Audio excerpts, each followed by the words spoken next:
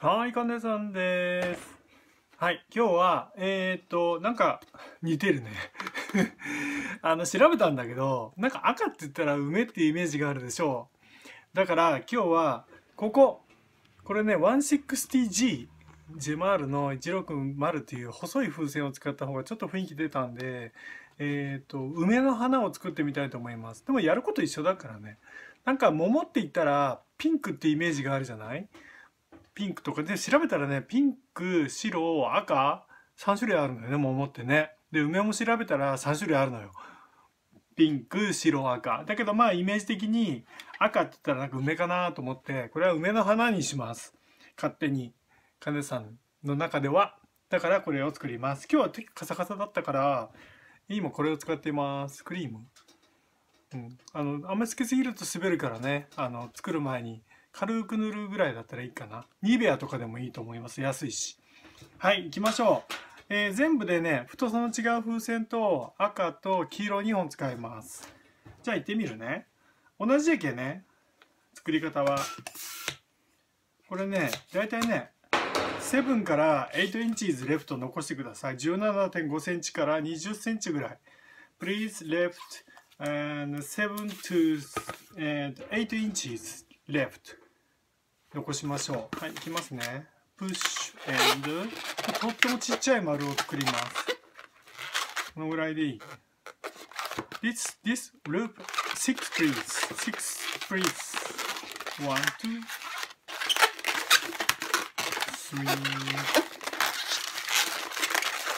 えー、ジェマールはね赤はね滑らんねあんまし。ピンクめちゃめちゃ滑るよ。なんかそんな感じがあります。はいもうちょっと。えーとちっちゃい。これ5つ目ね。このぐらい？見ながら回す。おいちょうどぐらいかなあーまあちょうどにしよう。抜きました。結構大きかったけどまあいいししよう。これは空気を抜きますで片手結びをしますシングルハンドタイで回してセンターも大体まあセンター回ってますこれぷくちゃんさっき上げた動画でぷくぷくぷくぷくちゃんぷくちゃんを作りますちょっと空気を入れるそしたらここに弾力ができますぷくぷくするから空気をゆっくり抜くゆっくり抜く抜いてこのぐらいになったらもう結びますただ空気が入ったままプクプクした状態でプクちゃんができます。これをこうやって。160ってなんかやっぱりメリハリがつくからいいよね。相手のつけたい手首の大きさもうちょうどいいぐらいのものをこう回してあげて昨日もねおばあちゃんにあげたんよ。病院で桃の花をあげました。めっちゃ喜んどった。えー、上がって両手上がって自慢しようって言ったそのおばあちゃん。はい。喜んでもらったよ。おばあちゃんに作ってあげたら。はい。ちょっと大体揃えたらこここっち側に来ます。これまだ空気抜かない。これね膨らんでない風船。これを用意してこことここをカットします。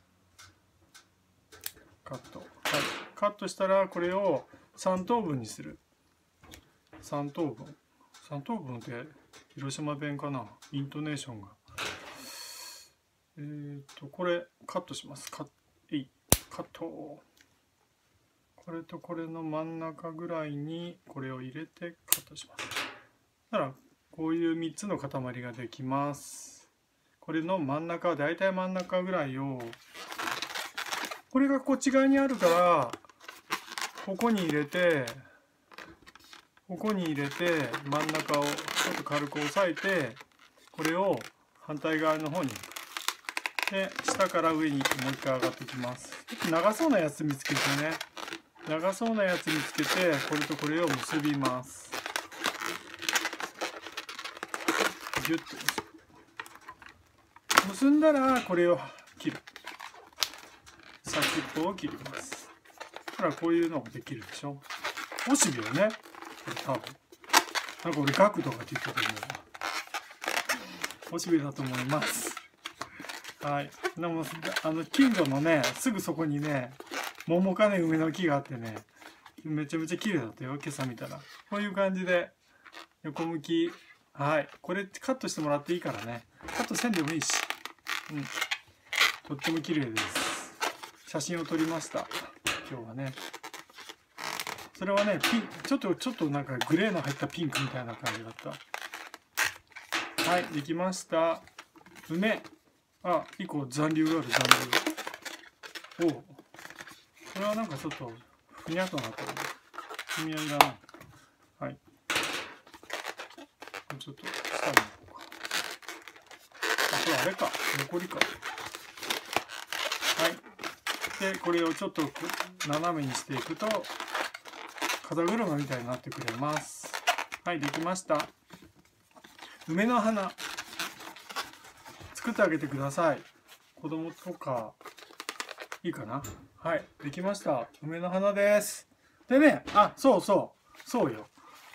これ梅の花ね白もなんかめでたくね紅白です。はい白もできます。